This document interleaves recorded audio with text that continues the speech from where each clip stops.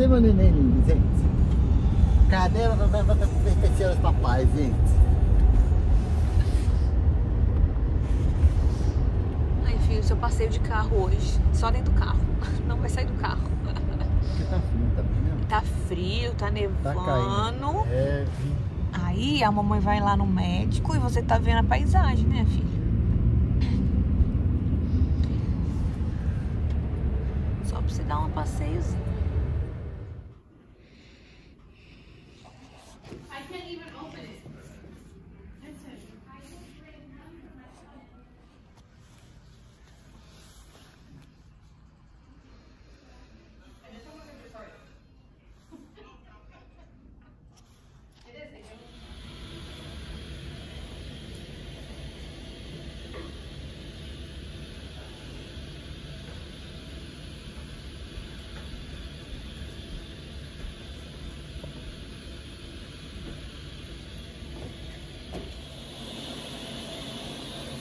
Bebê dormindo. Ai, peixe.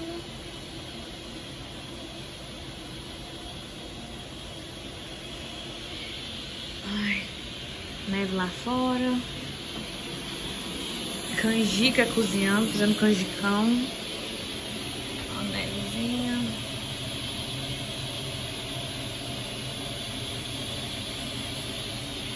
Primeiro dia de isolamento social do meu marido.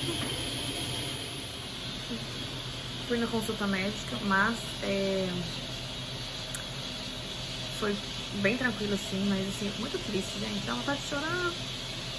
Eu não sei se é porque tô no puerpério, mas minha mãe falou que realmente é triste essa situação, então acho que não tem nada a ver com puerpério, não. É porque realmente a gente tá vivendo um momento no mundo muito triste, gente, muito triste. É um momento histórico. E a gente nem imaginava viver, né? Por mais que a gente já soubesse que poderia acontecer isso uma, um dia no mundo, a gente nem imaginava. Enfim, fui ganhar um Nicolas no hospital e de repente o mundo virou de cabeça pra baixo. Porque até então a gente tava com medo e tudo mais. Mas, gente, quando eu tava no hospital, é, assim que o Nicolas nasceu, as coisas viraram assim, mudaram de uma forma extraordinária. Tipo, tudo mudou. Eu saí de máscara hoje pra fazer minha primeira consulta é, pós-parto. Semana passada já teve a consulta do Nicolas. E dessa vez a gente deixou o Nicolas com a minha mãe aqui em casa. Fomos só eu, meu marido e o Arthur. E eles não saíram do carro, eu entrei sozinha na clínica. A gente só levou o Arthur porque senão na manhã ia ter que ficar com os dois juntos, ele ia chorar de sair junto sem me levar ele. Então eles ficaram dentro do carro, não tem problema. Eu tava de luva, de máscara, como vocês viram. Hoje resolveu nevar. Isso não é bom porque dizem que o vírus não sobrevive em temperaturas altas, né? Então, hoje é o primeiro dia que meu marido vai ficar em casa e ele resolveu parar um pouco com o trabalho, porque é melhor evitar sair de casa. E duas semanas ele vai ficar em casa, se eu não me engano. E aí a gente tem um estoquezinho de comida pra não precisar ficar saindo, sabe? Eu tinha um canjicão aqui que eu tô fazendo. Tem um lugar que chama canjica doce, né? Tem um leite condensado, e esse tempinho frio é isso que pretendo. O Arthur tá lá em cima dormindo, o Mário também tá dormindo, minha mãe foi tomar banho, o Nicolas tá aqui dormindo e eu tô vigiando o canjica. É isso, gente. Foi tranquilo a minha consulta, graças a Deus minha recuperação dessa vez tá bem rápida. Eu já sabia o que esperar também, acho que isso faz toda a diferença, eu já sabia o tipo de dor que seria no, no pós-parto. Então, assim, eu levantei rápido da cama no hospital, tô cuidando do Nicolas sozinha à noite, desde quando eu cheguei em casa pra minha mãe ficar bem, dormir bem, pra cuidar da casa, de, de tudo durante o dia, me ajudar com o Arthur, que é mais pesado, né, pra estar levantando ele, trocando uma fralda do Arthur. Então ela me ajuda muito. E como o Nicolas é mais bebezinho, eu tô tomando conta mais dele. E é isso, gente. A gente já tá de resguardo mesmo, então assim, a gente não ia ficar saindo mesmo porque tá frio lá fora. O Nicolas não tem vacinas. A gente realmente fica em casa, então pra mim não mudou muita coisa. O que muda é que tá triste a situação, não feliz. E que na gravidez do Arthur, no pós, quando ele nasceu, eu recebi visitas dos amigos para vê-lo aqui em casa. Então todo dia tinha uma visita, eram super tranquilas visitas, era coisa de 15 minutos, não tive problema com isso. Dessa vez a gente não está recebendo visitas porque realmente não pode, né? É isolamento social. Então isso mudou também. Quando eu cheguei na clínica, tava. Eles estão com a equipe na porta, medindo a temperatura da gente. E aí eu entrei sozinha, medi a minha temperatura, perguntaram se eu tô com sintomas do coronavírus, febre, dor de garganta, enfim, tosse. E aí eu respondi tudo que não, eu assinei meu nome, eles colocaram a temperatura que eu estava entrando ali.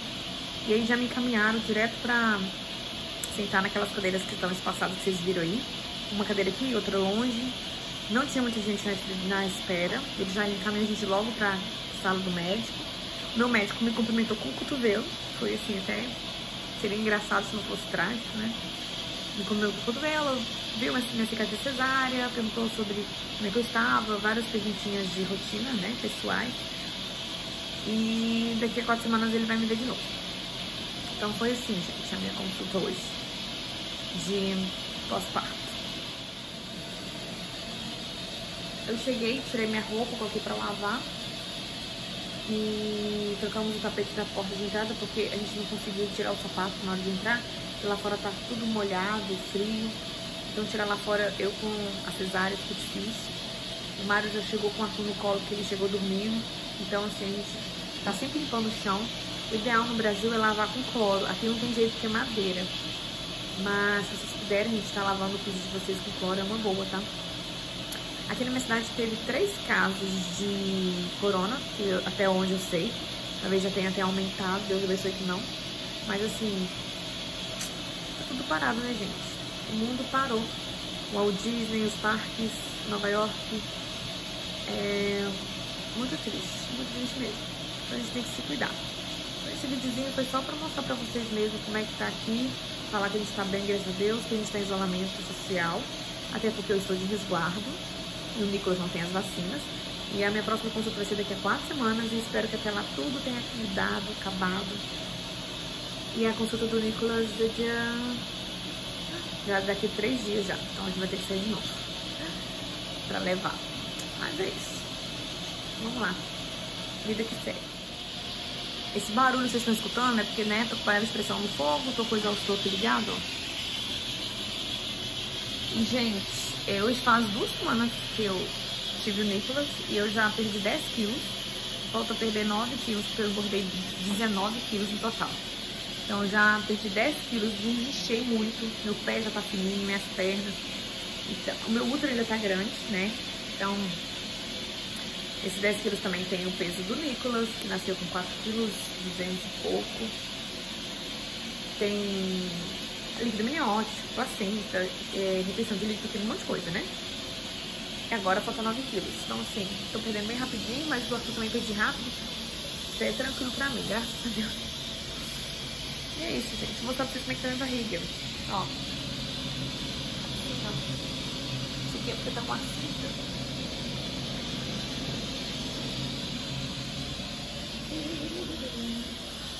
Tá bem desinchada, mas assim, gente, meu útero ainda tá bem grande. Duas semanas não deu pra diminuir muita coisa não, né? Então, assim, quando o útero vai diminuindo, a barriga também vai diminuindo. Então, isso é só pra atualizar vocês de como é que tá aqui em casa. E vocês, como é que estão aí, gente? Me deixa saber como é que tá aí na casa de vocês, se vocês estão em isolamento social. E fala pra mim se estão bem, espero que sim, tá? E vamos comentar aqui, tá bom? Vamos trocar ideia aqui. Beijo, se cuidem, gente. Fiquem com Deus, até o próximo vídeo. E toda vez que der, eu vou filmar pra vocês, tá bom? Pode deixar, eu não vou deixar vocês sem, sem notícia não, tá bom? Obrigada pelo carinho de todo mundo. E por vocês estar sempre acompanhando aqui. Tchau!